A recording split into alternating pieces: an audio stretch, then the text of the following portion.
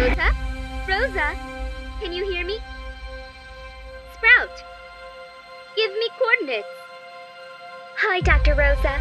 Scientific researches are going well. Me and Sprout have found a new type of bee, completely different from those on Earth. She was right. They exist. I studied them in the laboratory and created a radio that allowed me to talk to them. Now we are in good company. Returning to Oh, dawn. okay, okay. Hey, Doc. Sprout wants to say hello to you. Nature. Do you remember the armor you gave me at the beginning of the mission? Well, broke. So I decided to build my own. I wish you were here with us. We miss you. But don't worry. We will complete the mission soon. I managed to find different materials thanks to the help of our little new friends. For the suit, I made an update. I installed a new processor in the drone shooter. Must see how cool that is.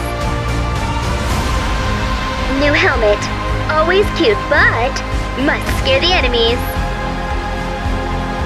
I have also expanded the backpack so I can collect more samples. For the colors, I couldn't resist. Purple and yellow, my favorite.